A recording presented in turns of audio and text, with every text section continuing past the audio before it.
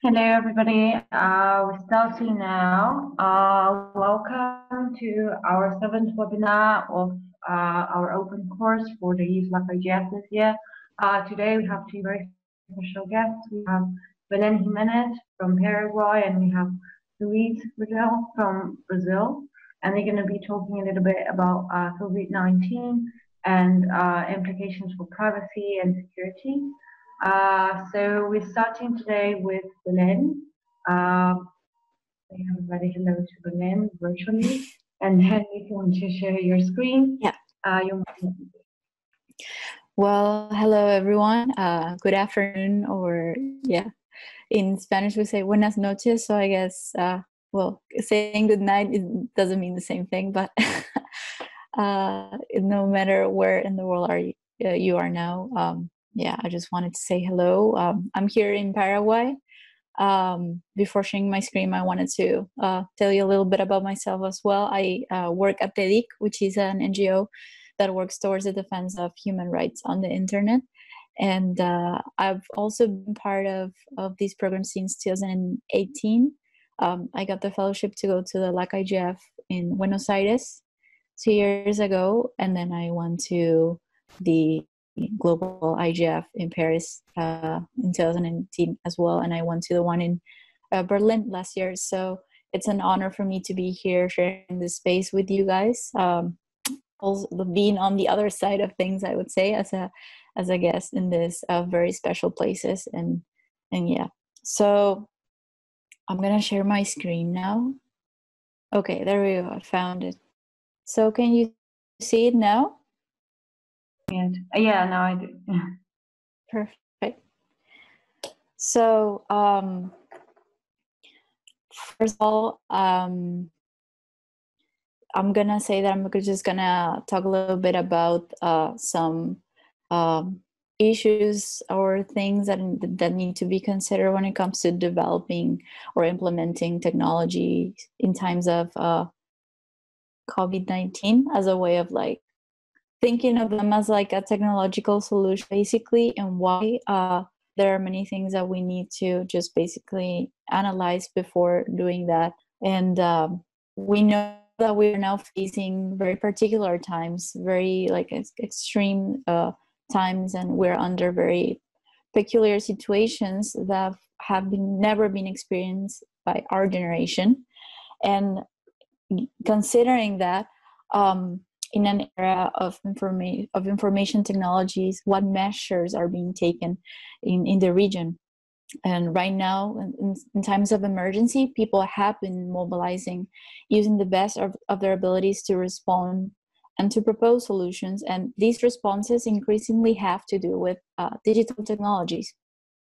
And within this framework of actions there is an increasing number of agents uh, from civil society and also from technical community and the private sector uh, that along with uh, the public sector as well in many instances um, build or launch um, sorry build or launch uh, self-monitoring and notification um, applications or platforms uh, for the society for for community uh, for active citizen participation as well and many of these uh, technological solutions uh, ignore privacy and personal data protection standards.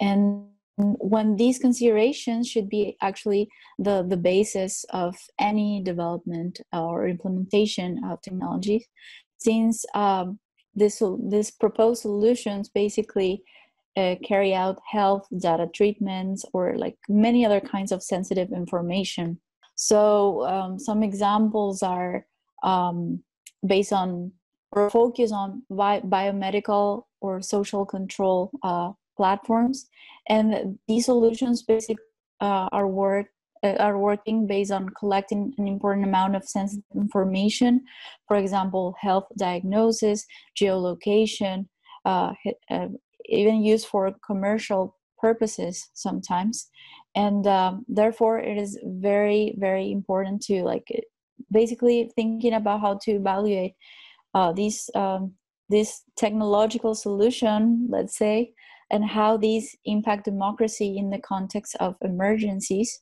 such as the ones we are like such as the ones we are experiencing or going through and also one thing that i wanted to say that sometimes these initiatives are done truly with the best intentions from many different sectors. However um, they do not have enough preparation or they do not take into consideration certain uh, personal data or privacy standards uh, when when it comes to implementing these synergies. And there are also many other things to be considered uh, when it comes to these. So uh, also i wanted to uh, to give some examples um, in the region. For example in argentina uh, the covid-19 ministerio de salud app ha- has been developed uh, in order to to do a self evaluation based on the symptoms that you may have. And this this app um, is actually uh, the one from the government, but also alongside there there have been other apps and platforms uh, that in order to do like an analysis that are not official. So um, these are basically pretending to predict the behavior of the pandemic through the use of our artificial artificial intelligence, for example. In Bolivia, the education ministry presented the Corona, Coronavirus Bolivia, uh, an app that uh, gives information about uh, prevention and how to take care of, of symptoms as well, um, frequently asked questions, and even numbers of emergency. And they also publish data and official uh, periodical newsletters uh, that are often updated. And they also have uh, like a site in which they can they can basically verify fake news or public uh, discourse in order to fight against uh, disinformation. And in Brazil, there has been the coronavirus SUS, coronavirus SUS app, uh, that also, besides uh, allowing for self evaluation, it also, according to what it has been uh, in, in media while I was doing my research. It also provides with information about prevention, uh, available uh, health units, and also like uh, it alerts um, about many like updates when it comes uh, from the Ministry Ministry of Health, and also they have been collaborating with the Albert As- Albert Einstein uh, Israeli Hospital in order to uh, publish a site for self evaluation as well online, which is autoavalia corona autoevaluación coronavirus uh, dot einstein dot brazil. Sorry about my my intent of like portuguese mixed with english there. Um, also in colombia they have a corona corona current app uh, proposed by the ministry of health and the institute uh, the National Institute for Health in order to do a monitoring of the health states of, of people in Colombia. Uh, either if you're a national or an international person who is just uh, who is who is there. Um, it also provides information about governmental measures and so on. And um, it also has a website that allows for people to access um, the, the the peaks and the, the progress of of the pandemic. I wouldn't like to say progress, but like the growth of the number of cases and so on of the pandemic in the country, and also the number of people recovered. Uh, and in Ecuador, they have an app called Salud Salud Ec, which is a telemedicine channel that it's also complementing the strategies from the from the governmental side in there and also has like self-evaluation and, sin, uh, like to prevent symptoms. But this is not um, this is also accompanied by another site that uh, reports news like there are fake news when it comes to the pandemic as well. Guatemala has developed alerta guate and in collaboration with israel and google that i found kind of interesting um, and this app is based on the platform of emergency mobile communication and according to to what I've heard and also to what I've seen, the, I've seen this from um, the colleagues from Derechos Digitales, which they they did a great job compiling all this information as well is that it offers specific alerts according to people's uh, geolocation um, that are also reproduced in an audible form. Uh, they also provide instructions and general information and, and even communication with like with a human being, a personal assistance through an SOS button, according to what it says. And then Honduras launched something similar as well. However, this is independent from the government, and uh, that's something to notice as well. And then in Mexico, they've launched uh, an app called COVID 19 MX. Uh, the start of April, basically, and it's offering direct access to attention uh, channels, self diagnosis, more information about close uh, health clinics and centers, um, and many other kinds of information, along with a website that they have, and even a chatbot, a, chatbot for self-diagnosis and the monitoring of the, the tracking monitoring of the ones who reside in the city of Mexico, which is also something to notice, because then we're going to talk about uh, what can come afterwards.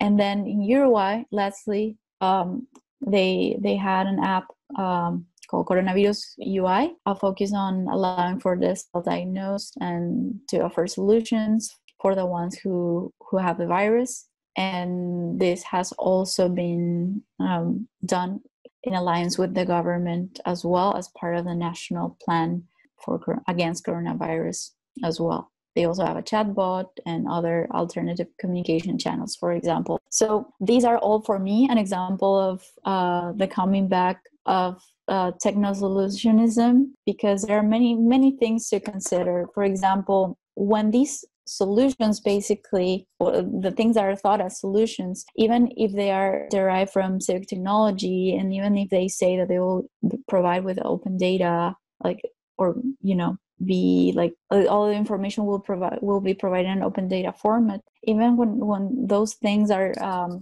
are the base of this um, still without having a comprehensive look and without proper maintenance we can expect very unfortunate unfortunate results especially when um, we do not take our particular regional context into account. For example, there are many countries that have been using uh, similar technologies, but they are more developed than our countries. Uh, so, for example, uh, you have countries such as Hong Kong and South Korea uh, that they they do have like public health systems that are robust, public policies um, and of universal health coverage and um, they have been they, they had experiences of using technological applications that have been positive in, to some extent uh, but then our situation is quite different. So i think that we we also have um, a lack of many things for example lack of rigorous uh, text tests of context and development of proper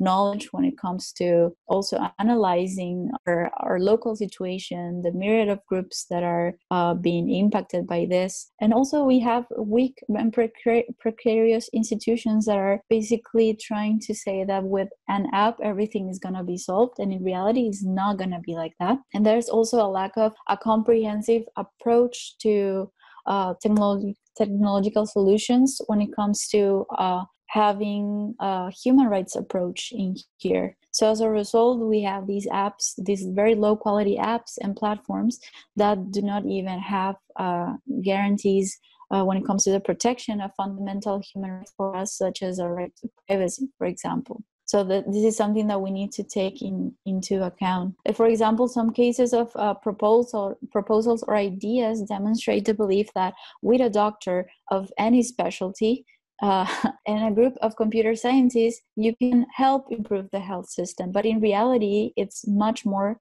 uh, systemic than that. Um, also, it would be ideal for other types of knowledge and profiles to be included for these types of proposals and ideas when it comes to uh, thinking of the developing, developing and implementing uh, different types of solutions. Uh, for example, uh, public health doctors with an emphasis on epidemiology would be one step. People who are specialized in the field of economy, uh, people who are specialists in information catalog- cataloging, lawyers who are specialized in human rights, designers in US based on the protection of personal data, cybersecurity engineers, and so on. On the other hand, um, enterprises who or companies that are basically developing or implementing these technologies should be articulated with public health policies and they should incorporate an institutional and financing perspective as well in order to see how these can be sustainable. Because in the long run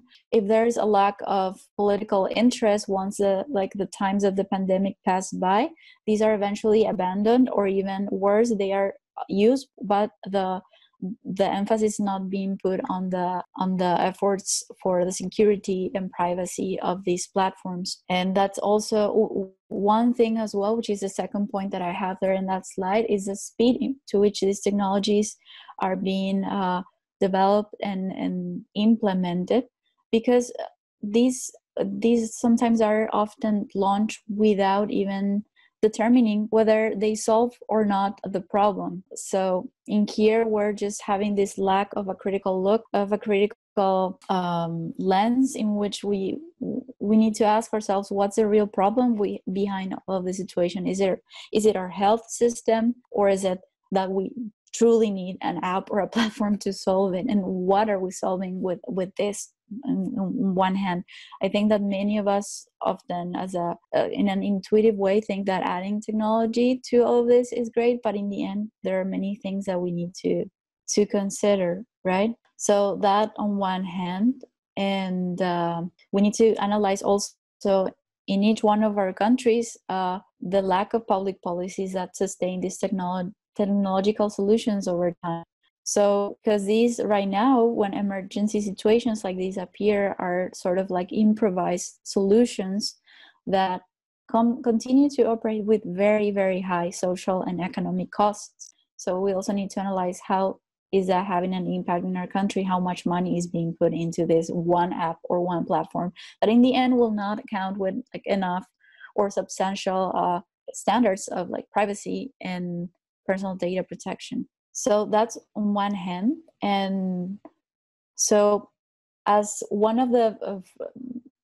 key considerations that i i wanted to share with you guys is basically that the lack of good practices in the in the treatment of sensitive data is very evident in our context or in our and the local proposals or ideas for technological solutions if you guys come to think about what has happened in your countries and that's something that i want to hear also by the end of, of, of my talk is basically saying that there, there's there's a like how do you say uh, i want to say historial like a history of, of lack of proper safeguarding guarding standards.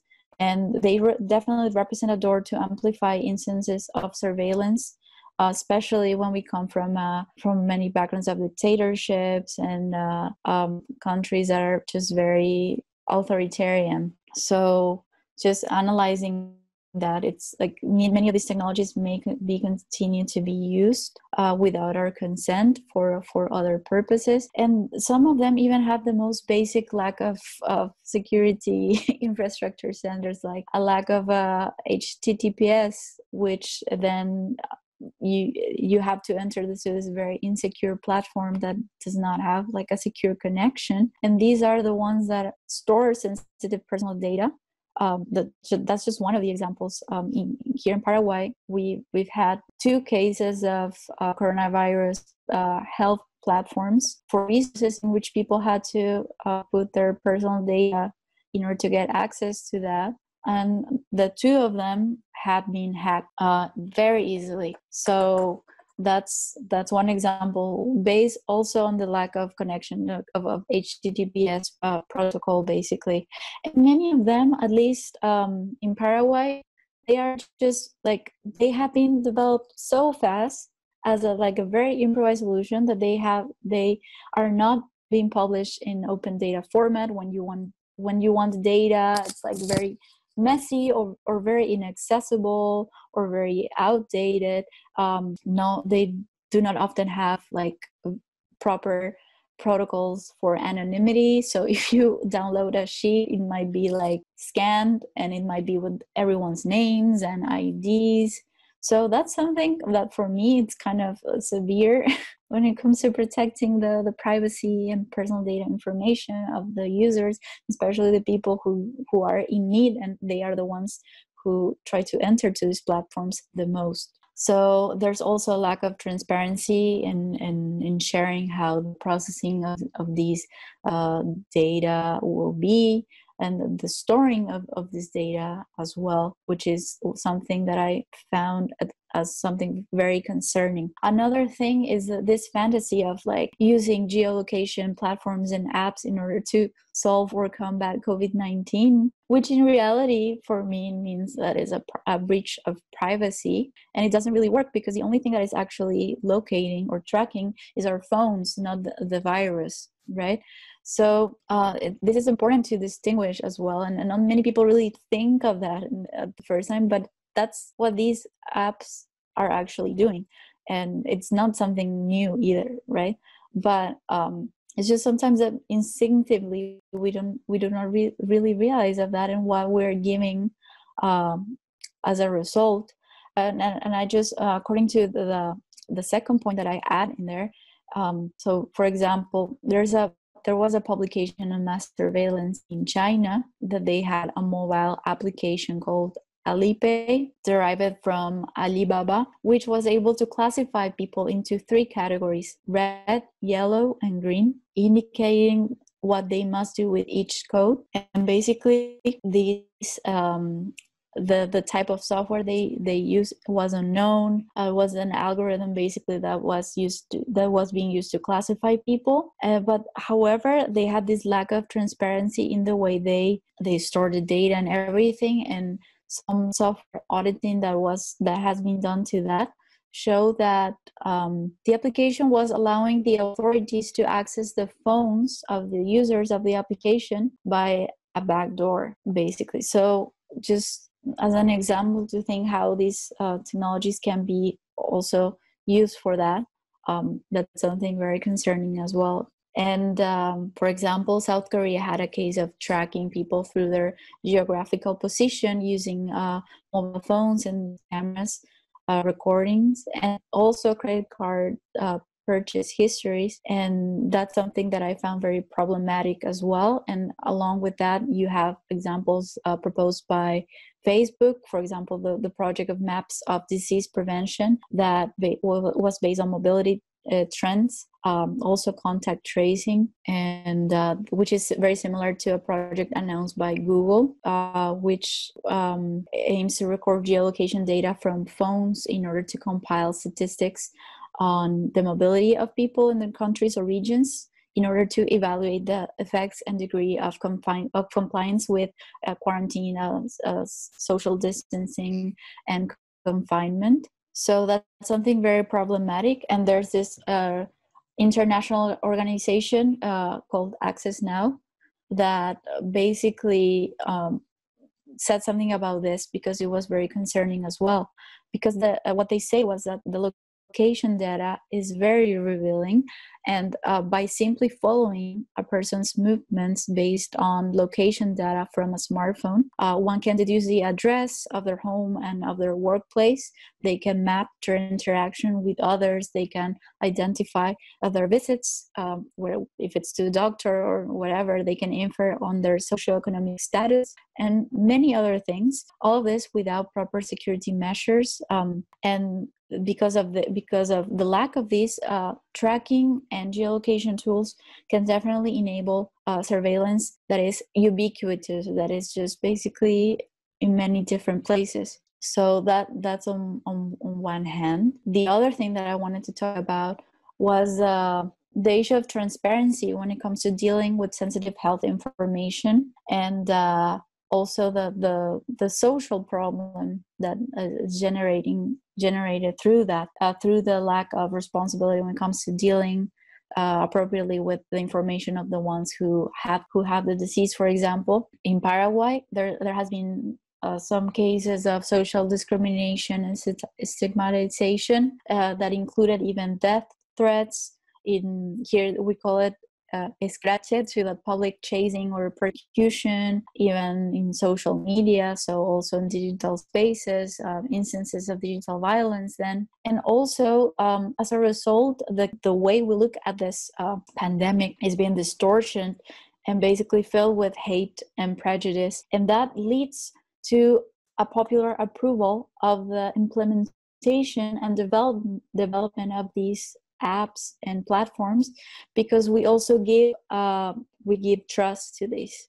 So we think okay because of these things uh, that are happening because the people are being irresponsible and are getting sick yeah let's implement technology for surveillance and let's control. So we will make sure to know who or uh, who are the ones who got the disease and who are the ones who were irresponsible. And we do not then measure objectively as well the way in which the implementation of these tools uh, also affect our individual and collective rights. And another thing uh, when it comes to social control is uh, the risk that uh, most of our countries in this region have a high degree of corruption and authoritarianism. And imagine having these tools at just are at their disposition. And there are many questions that are raised in this situation. How are these technologies uh, deployed or how will they be uh, deployed? Are they gonna truly stop being used once this this pandemic time I w- I wouldn't say stop but like at least gets a little bit better if once we consider ourselves out of this particular time are they gonna be stopped like when it comes to their use? And do they truly comply with scientific protocols and for testing and development? Most of them we know that they do not comply because they've been developed and implemented so fast as an improvisation as a, like an improvised manner of like providing a solution that they, they do not truly comply with many things. And uh, they do not even comply with quality mechanisms uh, for their use. And do they possess a contextual applicability focused on human rights? Most of them i don't think so. And also there another very important thing to ask ourselves is what is the line between the the things are being used to control and, so, and do some surveillance of the disease? And what's the what's the what's really the line between that and the population surveillance? I think that right now um, those lines are sort of blurred and that's something that we need to to really consider as well because that's something uh, problematic. And um, just in order to conclude we need to think uh, like i'm not really saying that we should avoid the use of technologies in these times. What i want to emphasize on is that we do need to build on what we already know and to think for solutions for our current and local context based on our situation as a country, as a region. So, this is related to demanding systemic solutions that maybe have absolutely nothing to do with the implementation of technology. Uh, so, we need to think more critically about implementing technology and not to fall into the techno optimism or the techno solutionism which in reality is, which in reality is not going to solve uh, uh, the pandemic. So we need to think about things such as better healthcare, a, bet, a better healthcare system, especially in the public se- uh, sector, and also we to have a better grasp and understanding of our social, economic, uh, political and technological infrastructure and the capacity that we have. Because even considering the the level of unequal access and connectivity in our countries how are we gonna pretend that proposing platforms uh, or applications is gonna really work if uh, the most vulnerable populations do not have uh, a good level of connectivity or access to the internet so some uh, technological principles and considerations that I wanted to talk about, like if people decide to go on with the development and implementation of technology in order to ensure the privacy and to comply with a certain important standard, is basically to develop technology that basically has a policy of privacy and personal data that is accessible to the users that includes things such as informed consent. Uh, the purpose of the platform why is it gathering uh, certain data? Uh, the quality of the data that they are ga- gathering the confidentiality as well things related to security who, who truly gets access to that how are they taking care of the data for how long are they going to retain it? And also to identify the ones responsible for the treatment of that personal data if anything happens. Also um, another consideration to implement is to allow the users to basically choose and control the privacy settings to give agency to the users basically and that. Also including privacy by design in order to prevent certain security breaches and not to think about how to mitigate or how to solve them once they happen and also develop technology that only stores data that is necessary for the app to work, not unnecessary data. And also the data that is disassociated or anonymized, like that is not easily related to our identities.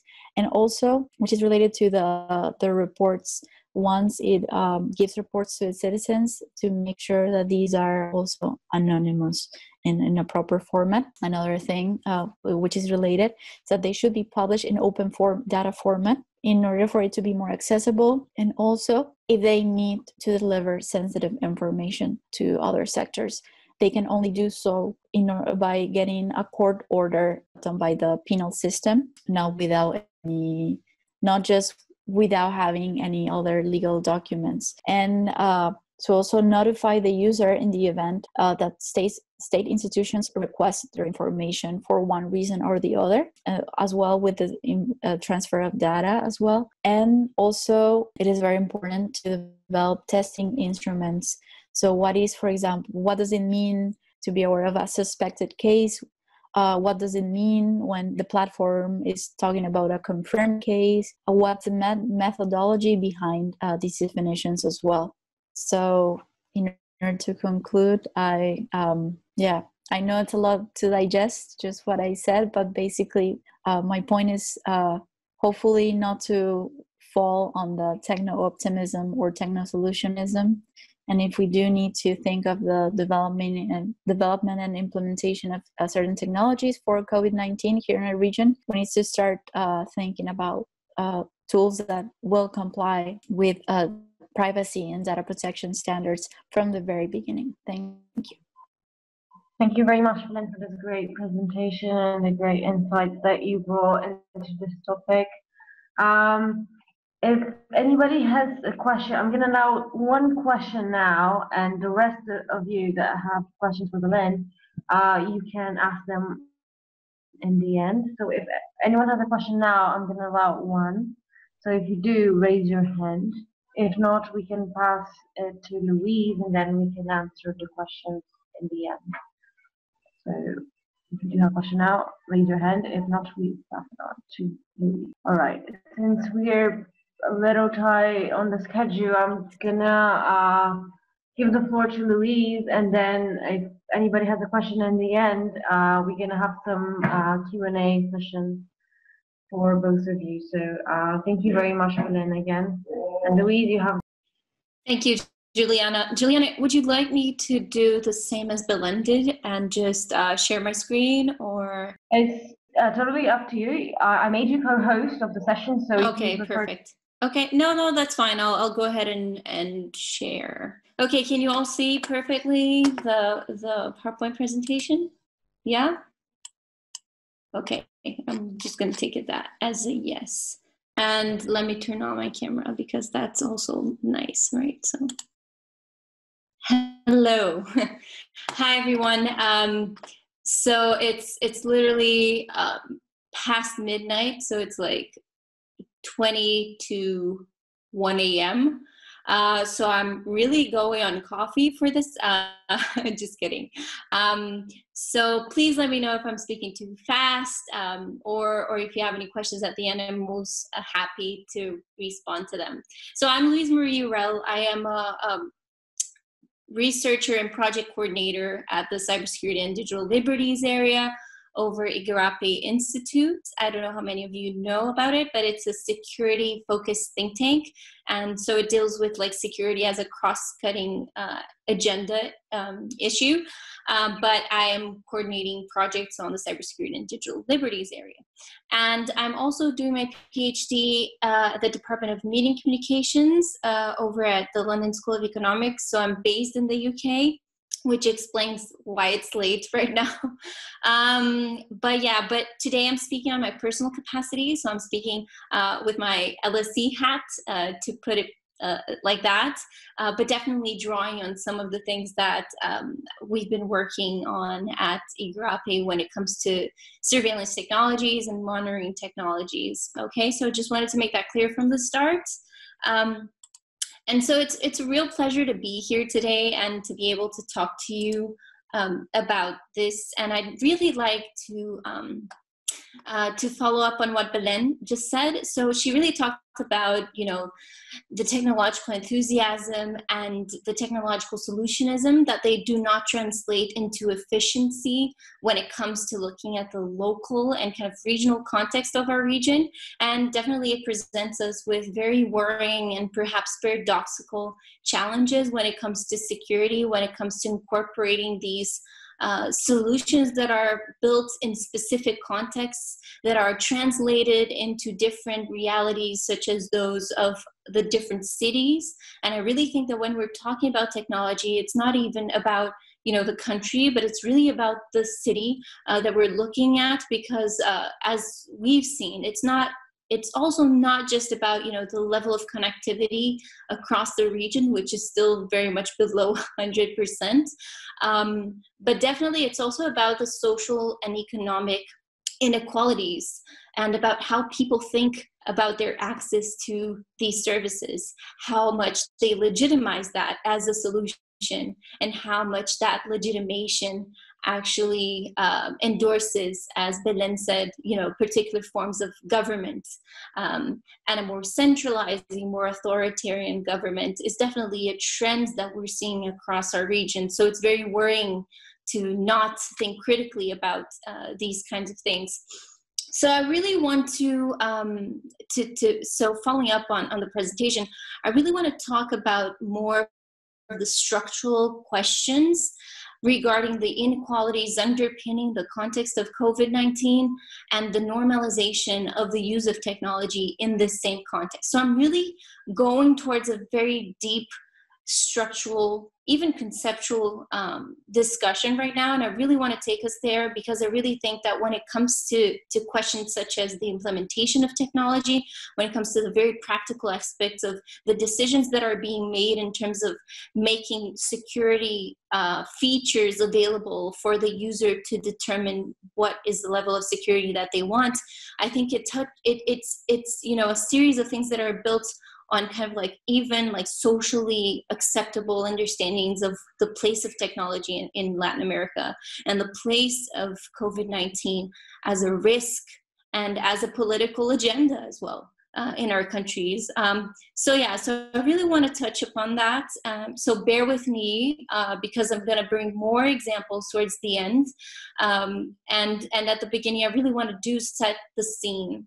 Uh, so the first part, I really want to lay the grounds for thinking about risk about uh, and technologies more generally. Why is it so important for us to talk about risk? Well risk is really the key word for a moment that we're living now. Uh, there's a clear health risk and there are several tech solutions that seek to deal with that risk.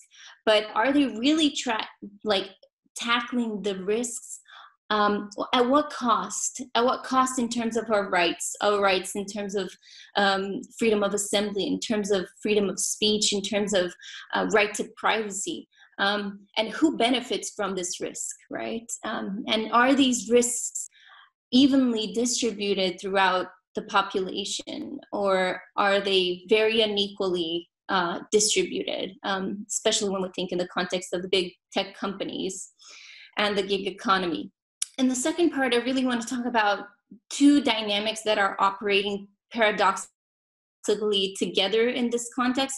At sometimes legitimizing the indiscriminate use of tech um, and surveillance measures as a solution to COVID 19, and at other times delegitimizing it and pushing back on the same use. So think about, you know, uh, facial recognition and banning facial recognition in the context of COVID. So it's it's kind of like these this double movement, which I want to touch upon.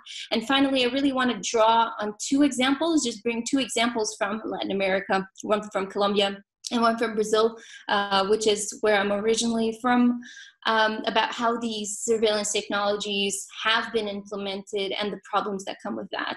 But if there's two things that I really want to, you know, the key takeaways of today, I really want you to think critically about the moment we're living in, think about the discourses about risk uh, that are echoed at, uh, in your respective countries. And I really want to hear about that and how you think about this reality in your country. And second, to understand technology contextually and think the ways of resisting to these solutions where massive data collection remains kind of the spinning wheel uh, to, to, to efficiency, to how we think about efficiency. So these are the three kind of parts. Um, and in the first part, so why is it important you know for us to talk about risk? You know i've just taken that for granted. Uh, but it is exactly because risk is not just about you know the disease and the pandemic. It is really because risk is socially constructed and therefore we need to understand how covid beyond the health crisis has become part of political, social, and economic crisis all around the world. And most importantly, it has become a risk with powerful implications to our ways of living. The risk has determined that we are going to stay at home. The risk and the policies that have been implemented have, have decided that, you know, we should perhaps, as suggested by some governments, take that precaution or this precaution or that maybe we should open you know the economy now or open the economy later. So determining a risk has political implications and is a political element in itself. Um, so when we're determining a risk is really determining a problem and it is creating a dominating logic of risk that requires action uh, so COVID 19 implies in the mobilization of different logics of risk concerned with health, sustainability, and most importantly, technology and technological solutions. And so I really wanted to bring the this tweet from Antonio Guterres because I really think it's a great tweet in terms of, of thinking about that. Uh, when he actually goes to Twitter with his influence and his position and says that we are facing now a new enemy and that this enemy is an infodemic. He's clearly kind of creating and mobilizing a powerful vocabulary over there for determining the risk associated with covid. So covid as i said is not just about the health health issue but it's definitely about creating this plethora or at least an, identifying this plethora of other gravitational you know gravitating risks around it um, which are political agendas if you look at it that way. Uh, so so really kind of uh, in this case um, the risk associated with covid is a risk of spread of false information and disinformation. But uh, as you can see in the tweet, is quite interesting that he follows with the normative side of it of, of like the the policy implications of that. As i said you know the risk doesn't come alone. It comes with a proposition. And the proposition over there is really clear that we need to urgently promote facts and science hope solidarity over despair and division. So that is kind of like the solution to the identified risk. Uh, so it's really an interesting to see how that plays out and really shaping the way we see the pandemic. And obviously it leads us even to the question of like the role and the place of social media in shaping our understanding once we we go through the pandemic. You know who will tell the history of the pandemic? Who will be able to kind of voice what were the major risks and and who was actually being affected by it? And we definitely know that these narratives they just create greater kind of cleavages um, when we look at the you know at the past uh, at the past. And in this case is not different. You know are we going to remember the people that are delivering our stuff at home? Or are we going to remember you know the politicians that that that were uh, claiming that they knew what were the best solutions, you know, for us to take, I don't know, hydroxychloroquine uh, in the case of Brazil as a precautious measure. Um, so yeah, so th- this is this is kind of like the structural elements that I was talking about. I really think that we need to think about these things. And in other contexts, we have seen that the COVID has again again legitimized the role of scientific evidence and scientists in a world where we have seen the rise of anti-vaxxers and terraplanistas. Um, and on the other hand, many countries such as the UK, let's say, has said that the strategy for combat in COVID was completely led by scientific evidence, when in fact it was much more part of the discourse of legitimizing the strategy rather than actually using scientific evidence to do that. Um, so Ulrich Beck is a very great renowned scholar. He's a sociologist, and I really don't want to keep talking about theory over here, but he says something really interesting for us to think about risk. Um, uh, he argues that our society has become increasingly preoccupied with the future, so with controlling risks. Uh, so this has led us to the de- development of systemic ways of dealing with insecurities, technology being one of them, risk is the driving force of social change. It operates with power because those that have influence can provide new mandates for risk. Uh, so when figures such as Trump uh, delegitimize risk by saying that bleach could be considered treatment for COVID, he certainly using, uh, though not necessarily purposefully, his influence to delegitimize the challenge of COVID. Um, and when, for example, Bolsonaro uh, says that COVID is only a flu, he is certainly and purposefully renegotiating the understanding of risk, and with that, the priorities at the national level. But one of the things that I really want to kind of talk about is that another scholar, uh, Ursula Jasper, she talks about, you know, in this risk politics of risk and, and creation of these logics of risk, um, that there is what she calls in, in the health uh, in the health sector the anticipative medicalization of life, be it the creation of an increasingly dense and important network of big data driven diagnostic and surveillance tech technologies that allows fewer and fewer potential risks to our well-being. So think about you know like the use of technology for risk mitigation and well-being and health is not something new uh, this the COVID is just yet another expression with greater legitimacy because of the exceptionality of the context. But think about you know Fitbit and uh, tracking apps, health tracking apps, um, and even more intrusive ones such as the ones that track your period and and things like that. Um, so or even at the individual level, think about you know think about these things. Uh, this is a yet another expression of things that we have been legitimizing. Um, so, so the legitimization of the current uses of technology, they are not, it, they do not operate in the vacuum. So there's this history of kind of like what we thought that was acceptable and what we might think might be more acceptable right now since we're facing, you know, this extreme scenario. Um, so just so we continue with our discussion, and I'm really taking a little bit more time in the beginning, but it will be a little bit um, um, more, you know, fast paced at the end. Um, the second part is really kind of um, um, sorry, is really thinking about, you know, I mentioned that risk is socially constructed and it sets a political and technological agenda.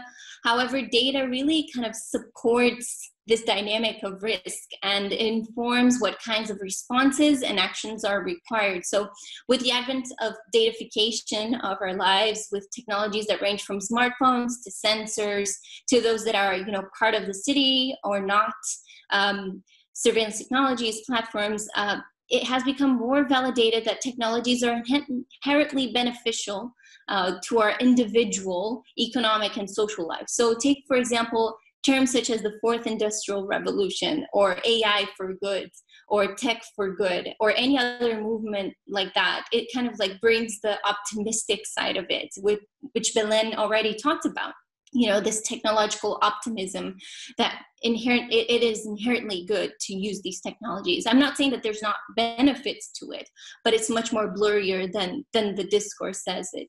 Um, and just if you're interested datafication is really kind of like the quantification of our everyday life and it's a term that was you know set forth mostly by uh, Mayer-Schönberger and Cukier so if you're really interested in kind of reading more about it please um, drop me a line. Happy to send you um, more references.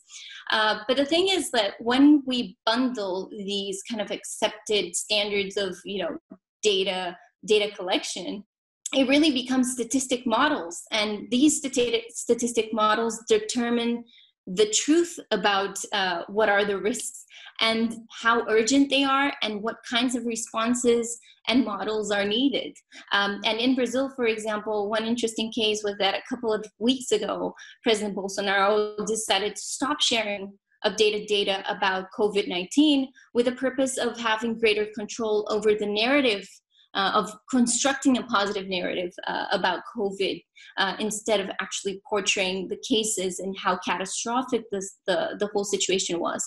Of course, this backlash, but it shows how uh, the individual and the aggregated data are the raw material uh, for building this politics of risk. It reclaims the virus for itself and it follows depending on the case you know a political agenda as as as the what i mentioned um, so, so really now that comes the interesting bit, which is um, uh, when we think about, you know, what Ulrich said, um, that, you know, the risk society, um, the risk society is driven by the logic of a dispersed risk distribution.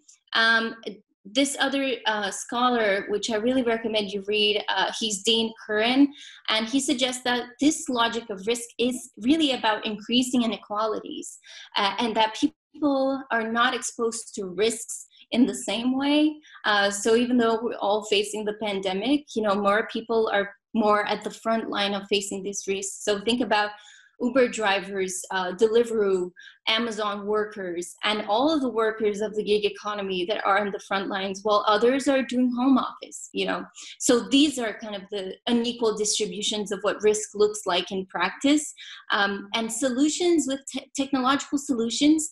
They normally don't account for that. When you think about COVID contact tracing apps, I mean, are they actually considering the nuances of you know the demands that the economy requires in order to operate especially these people that are working with like very low wages and they're having to expose themselves and you know they're they're really kind of facing the risk of getting coronavirus. So are these technological tools and developments really translating the reality of our, our, our everyday life uh, so risk in this case provides new horizons for the perpetration of inequalities. And, and Shoshana Zuboff is also one of the great scholars. She talks about surveillance capitalism and how it further places this risk dynamic in what she calls, you know, a global system of behavior commodification. And also another, um, you know, and, and we, and another kind of element to that is that um, we, for example, give Facebook our data for free and they transform it into money into a market of trends which is redirected to us um, and uh, with no democratic oversight.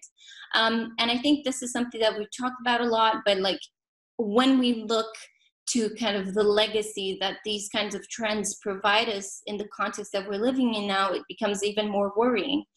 Um, and, and finally, another concept that we would like to bring here, just to kind of think critically about the moment we're living in and about the inequalities that it brings to our region is really the concept of um, data colonialism. So, um, so this what what uh, Nick Couldry and Ulises Ali Mejias actually argues that you know the datafication or the quantification of everyday life is not evenly distributed. And for example, less facial records, uh, you know, of, of people with different gender or different race or different ethnicities uh, create meaningful biases in technologies and efficiency be- becomes selective in this way.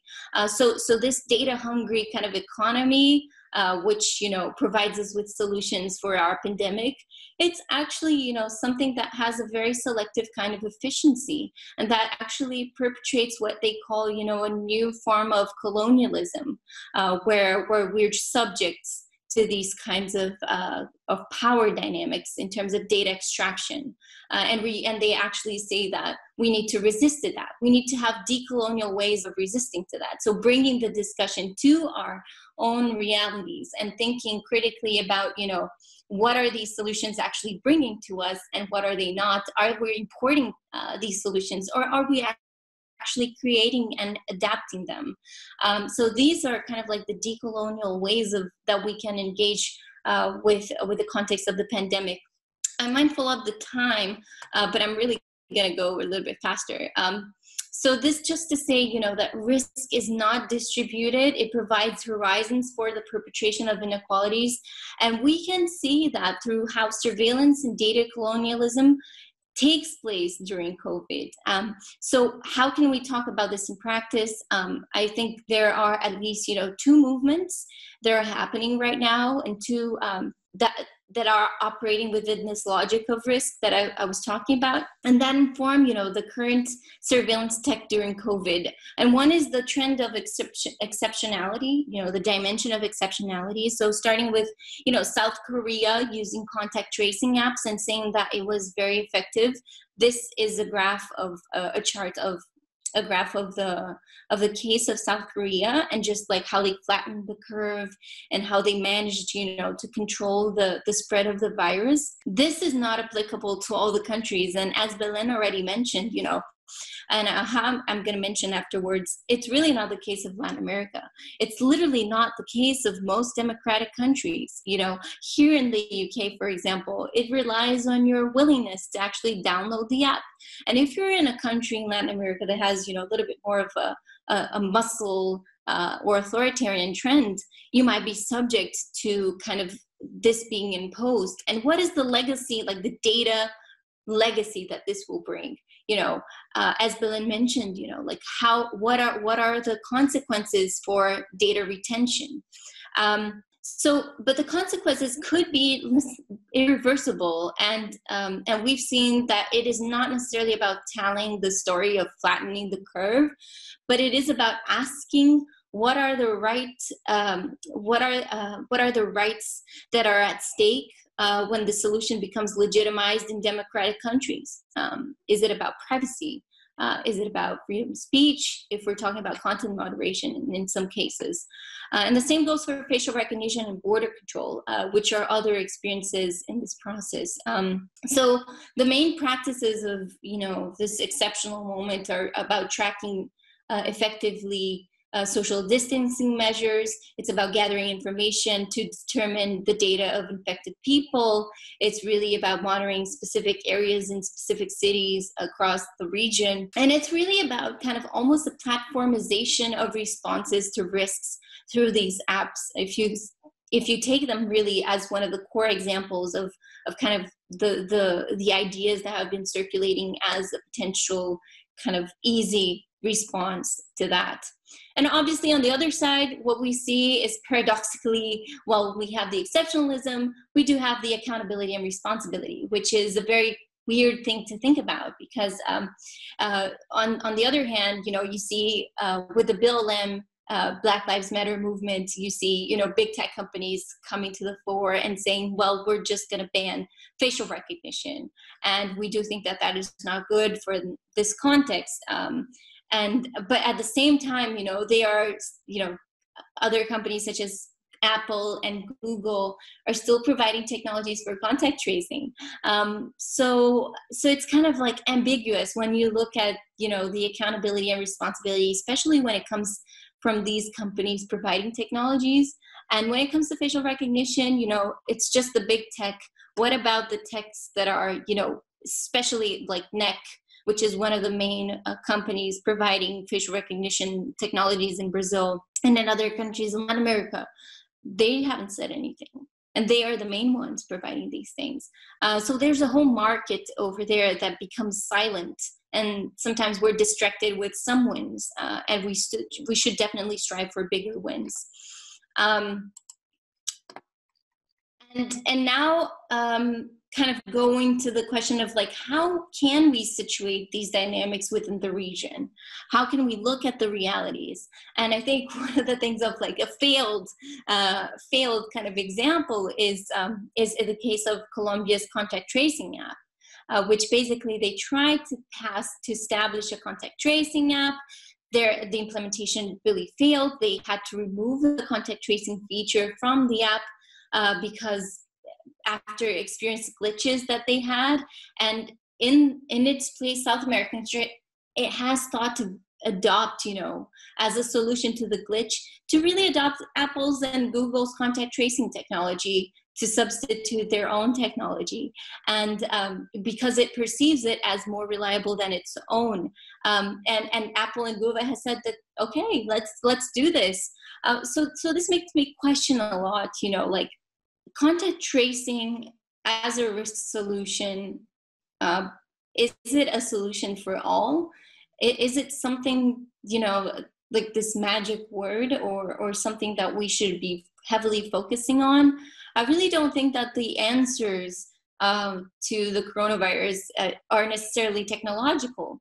Uh, the solutions for coronavirus they are about you know investing in healthcare and i think that's something that we've we've we've been struggling a lot because i think sometimes we as i said buy many countries in the region buy uh, this narrative that you know we need to adopt these technologies because they're going to make it more efficient to track but if we don't have data sets on the people if we don't have health data that is structured and secure if we don't have protocols uh, for data exchange between you know the healthcare sector and the different sec in the different you know public private healthcare systems how are we going to do that?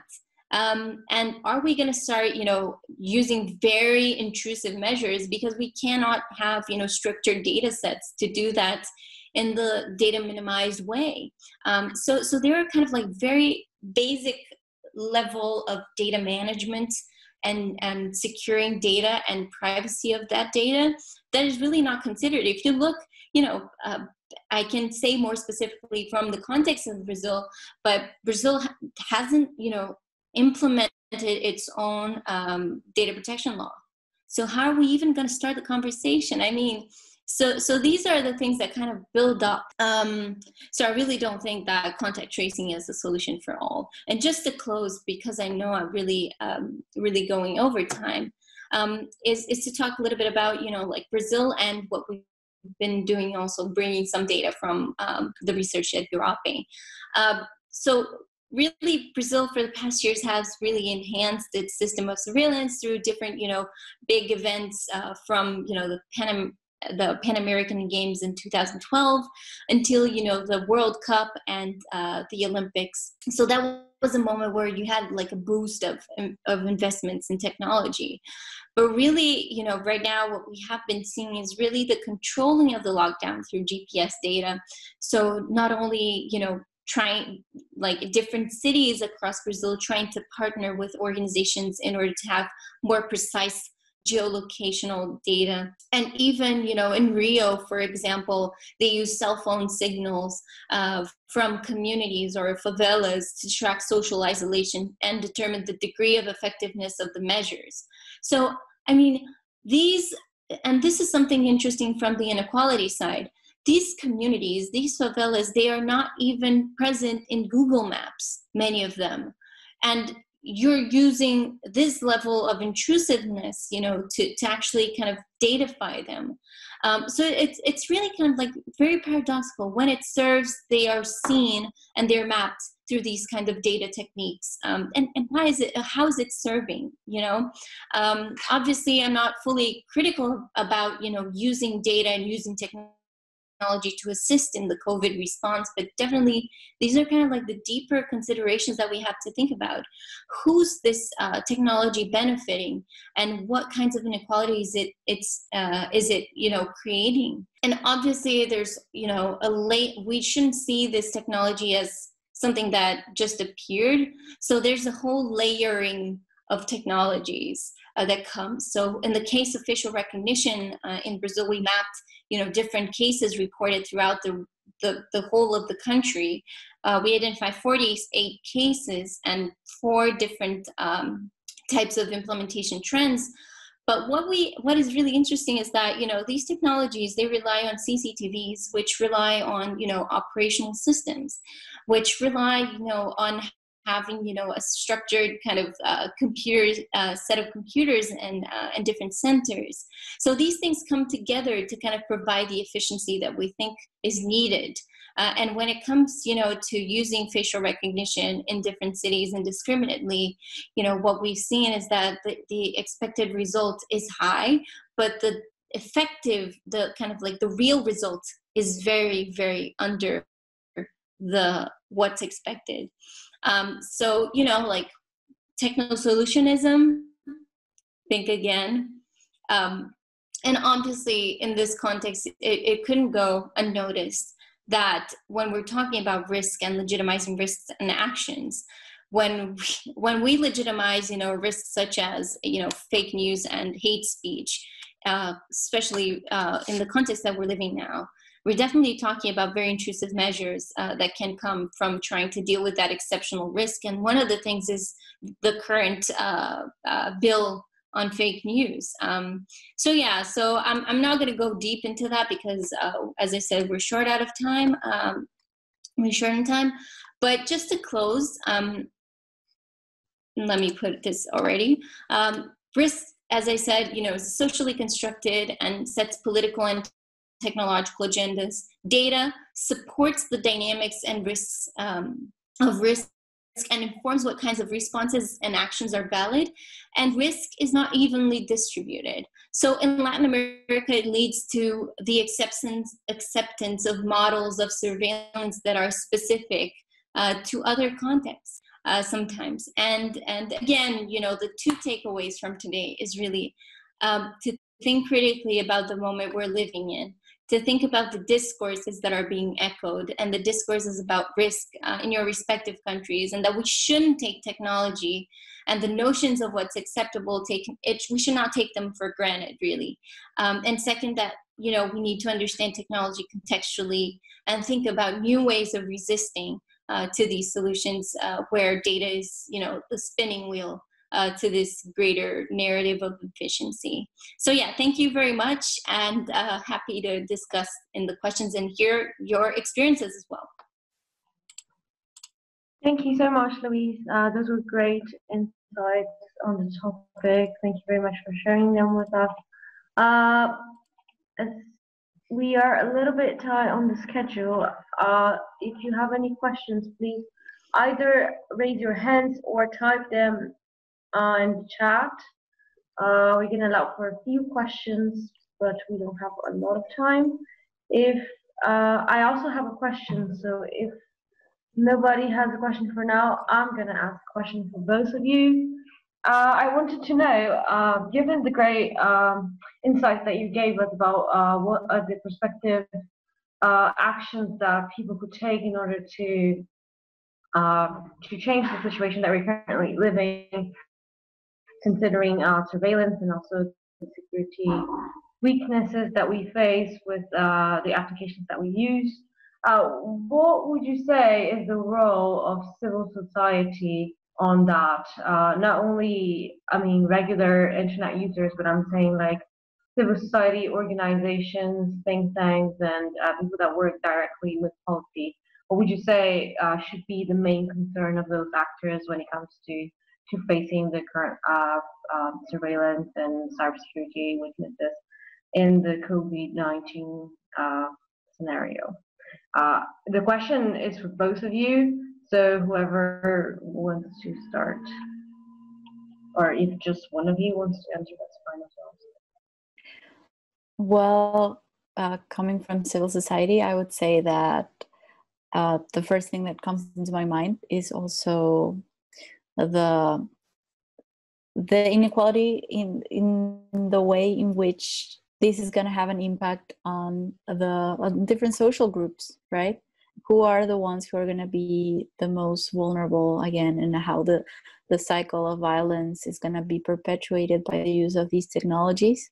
And um, that's on one hand. On the other hand it's just to tackle this notion that in relation to what I said and also to what Louise was mentioning of like normalizing the implementation of technology in order to solve things and uh, without really analyzing the, the, the structural problems that are not related with technology at all and how to firstly analyze that and to be aware of that and to question that before even considering uh, developing or implementing uh, an app or a platform.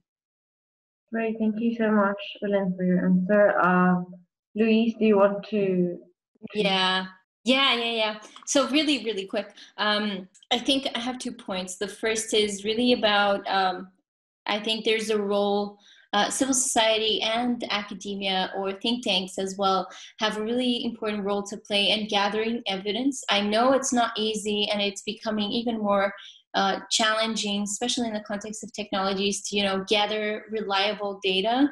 Uh, but I do think that we do have a very central role to play in gathering evidence on implementation uh, through you know our transparency, access to um, access to information laws or similar channels or really interviewing people mobilizing our networks you know and working with organizations. Uh, so thinking about implementation and also contributing with uh, benchmarks and policy proposals. Uh, I think that's a really powerful way of mobilizing. And also, I mean, the second one is something that we already do a lot, but I think we can be better at that, which is, you know, coming together and questioning these narratives, coming together. And I mean, this, this questioning, it goes for civil society and academia as well, you know, our, our own assumptions about technology and, and how we create you know stronger claims uh, in advocating in a moment where it seems that we're less and less heard. Um, so yeah. Thank you so much. Yeah i completely agree with both of you. I think uh, we spend maybe too much time like relying on on governments in order to to get actions done. And, and i think it's time for us to realize that that's not going to be that's not going to be useful anymore. Like we're not in a democratic scenario, uh, at least not in Brazil anymore for it's been a while.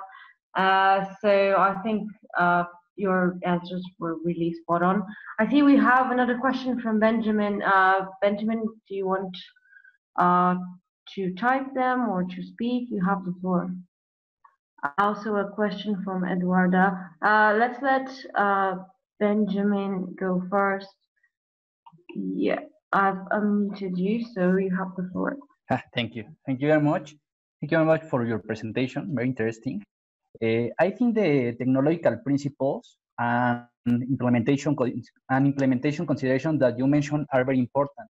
Uh, considering the privacy and security that must be taken of the data.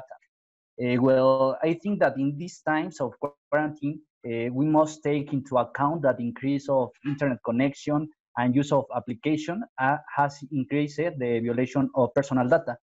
So my question is more about uh, protecting no technological users.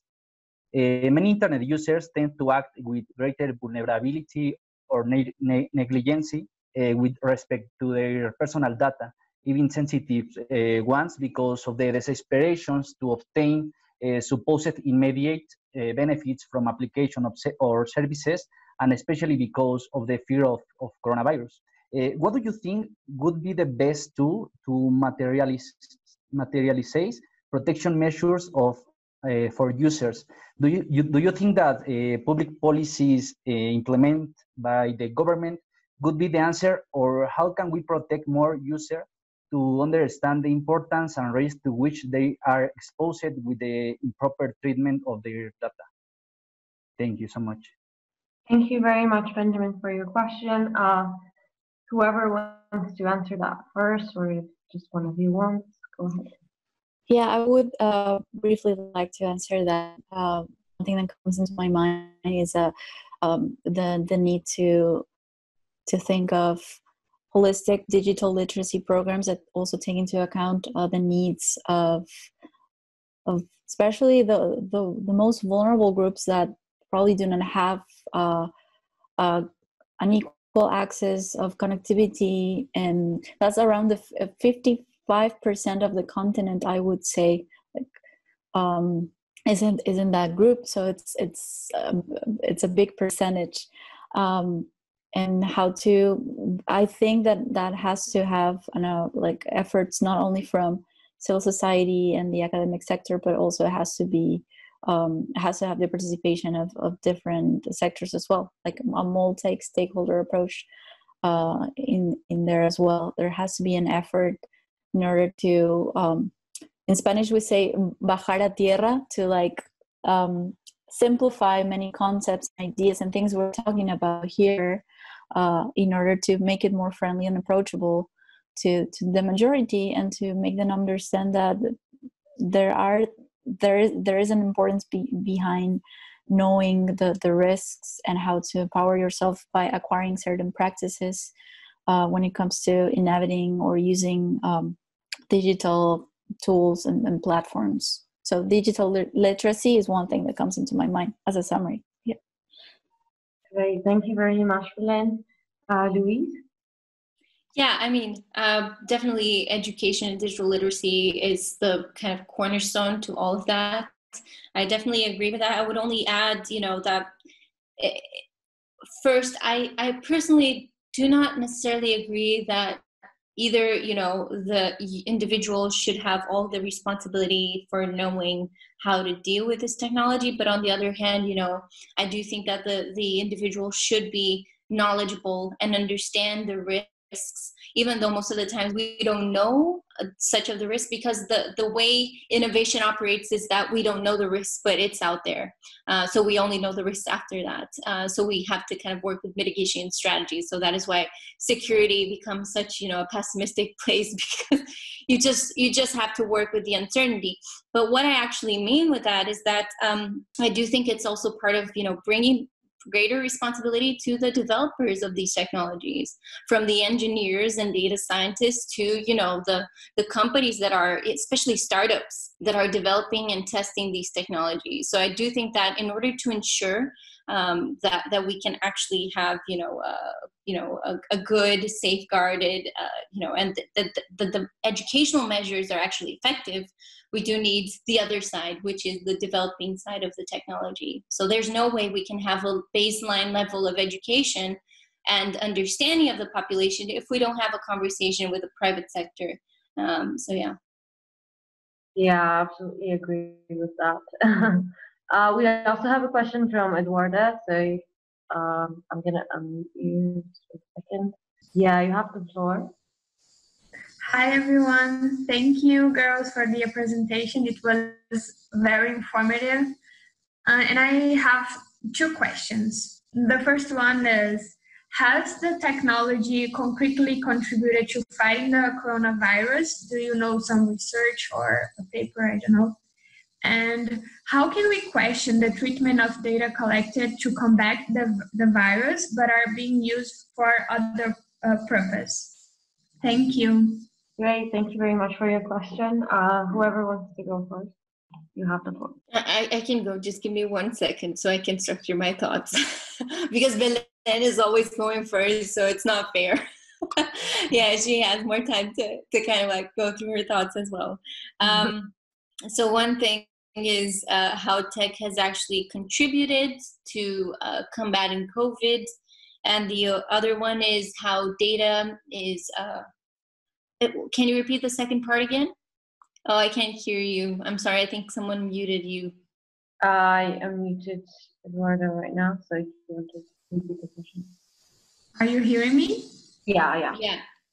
Okay, so the second one is about how can we question the treatment of data collected uh, to combat the virus, but are using uh, for another purpose? Okay, um, so the second one, I would definitely say that um, first we need more transparency about how the data is being used. Uh, because I think right now we really don't have much insights as to how where the data is coming from, uh, especially for these apps. Uh, for example, uh, so we do need to first have some transparency over what kinds of data are being assembled, even if they're coming from different, you know, departments, different ministries, different agencies, and even different companies, uh, in order for us to understand, you know, even the risks and also, you know, how they can be potentially being used for other purposes that are not the ones that courted at the beginning. And I mean, that goes circles back to the question, you know, like, do we have, you know, proper data protection legislations in the countries that can actually enforce, you know, uh, especially when it comes to context exceptional such as that. I know that the Brazilian law, for example, does not cover when it comes to uh, public security or, you know, national security issues. If the COVID comes within, you know, this exceptional scenario, we we we have to kind of push uh, that the the the principles of exceptionality, you know, that the principles of necessity, proportionality, that they are observed in these contexts. Uh, so, so I really cannot respond to the, you know, the other uses because I really think it's really hard to, for us to know now. Uh, maybe after COVID come, uh, comes through, maybe that pool of data that is collected through that assemblies of data will be used for another purpose. So we have to be careful of maybe reading the TORs that are being set by these uh, tracking apps or any other kind of solution that we're uh, using or service from the government, even if it's informational. If it's collecting data, it should have a specified reason for doing so and the you know the limits of how that data is going to be collected um, and how tech has actually contributed uh, I think tech has actually contributed immensely to the context of COVID. I think there is a lot, you know, of, of thinking about how I know that some cases in Brazil, like with specific communities, um, the, the local government was actually reaching out to influencers from a particular community in social media to actually, you know, broadcast really good, reliable information on COVID. So I think these solidarity networks that are forming in this context are, are really kind of a very nice gain. I think solidarity is something that we need and hope, and uh, and I do think that social media, in spite of the whole craziness, has been used in coordination with local governments in a very interesting way. I can say that uh, from the Brazilian context, at least in some cases. Great. Uh, thank you very much, Louise. Uh, Belén?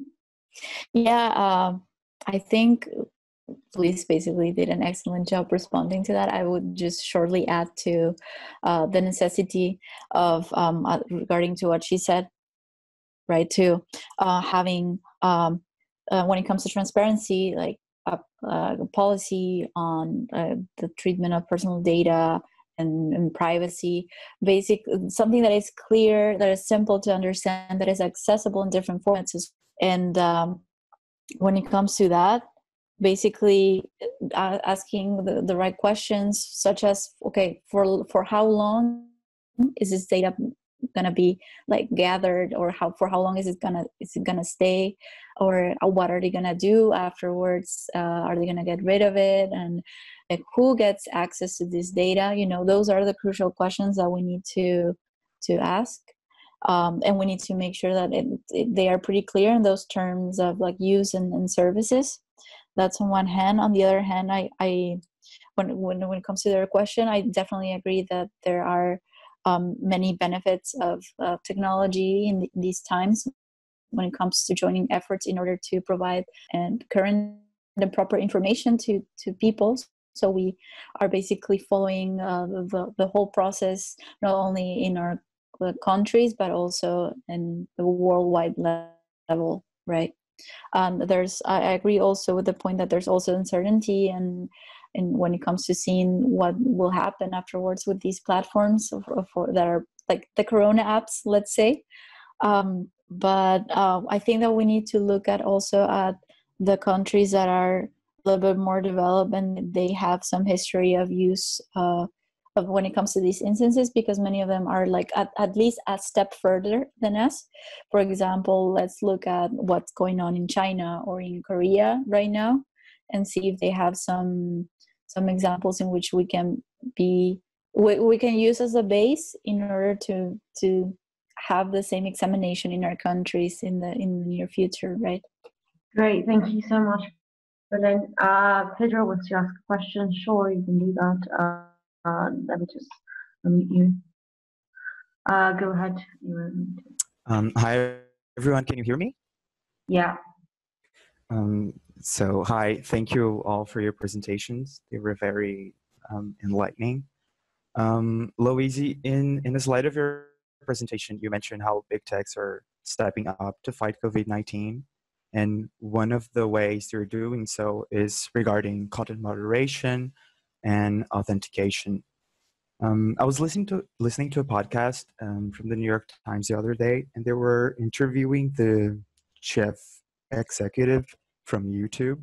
And apparently, the current pandemic is the first time when they actually put a official sign directing to official information about COVID-19. I saw this the, the same thing happening in other platforms like Spotify and Instagram. And um, my question is, do you have any views if there will be a legacy of holding social media platforms responsible for content moderation after the pandemic because uh, apparently there's um, a new maybe rise on the horizon regarding content moderation and i'd like to know about that and belén belén if you have any um, specific views on from a um, civil society point of view i'd like to hear them too oh and um, no that's it sorry Thanks, Pedro. Um, whoever wants to go first, you have to start. Yeah, I can go first. Um, thanks so much, Pedro, and, and all of you for the questions. They're really, really amazing.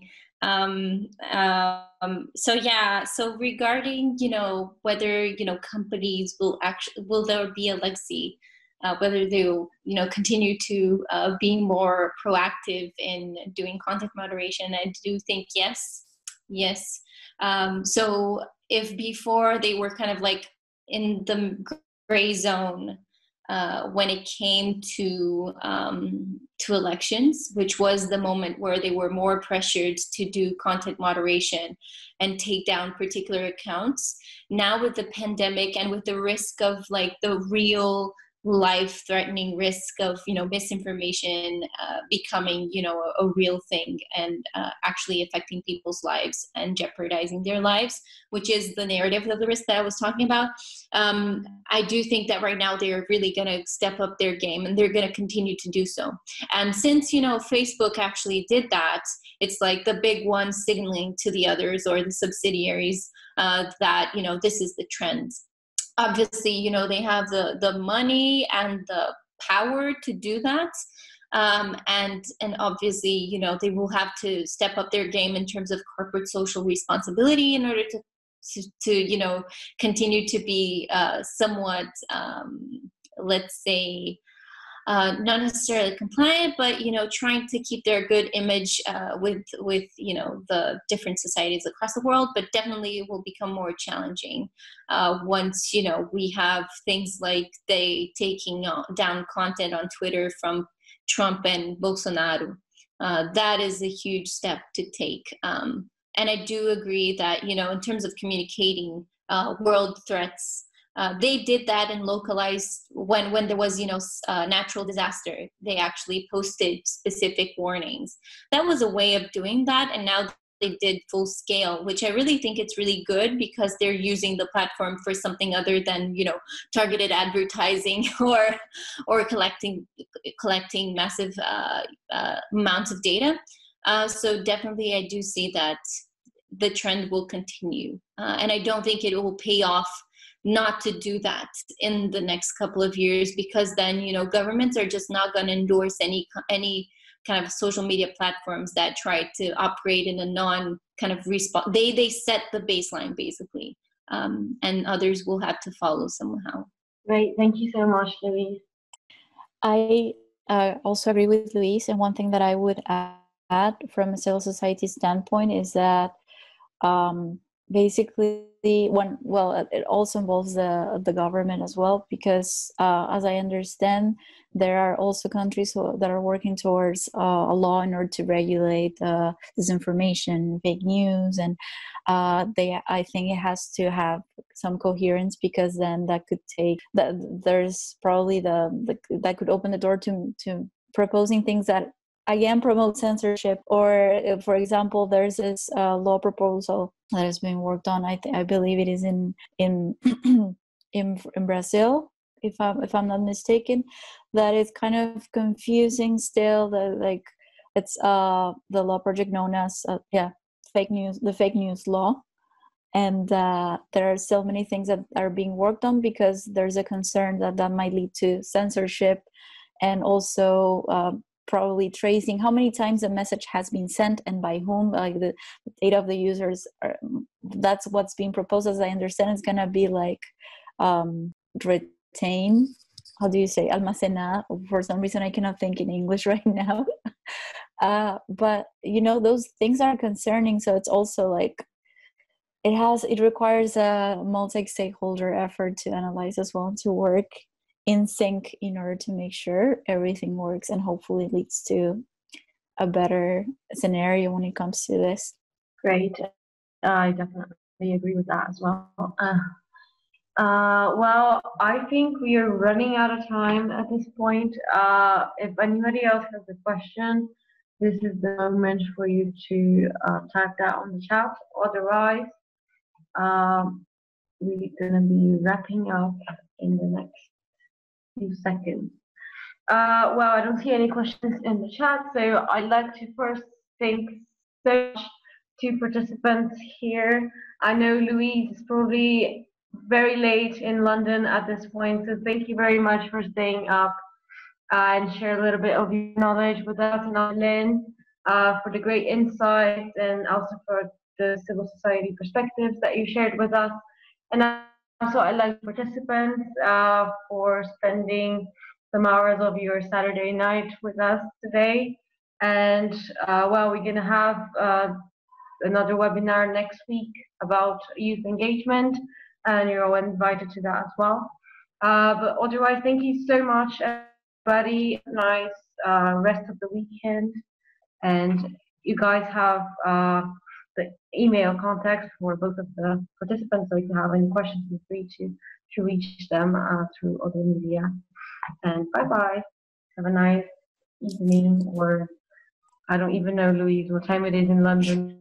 it's two it's like it's almost 2 a.m you know caffeine is going out so so yeah it's the perfect time great night of sleep for you okay thank you. It was great. Thank you so much. Yeah, bye bye Thank you.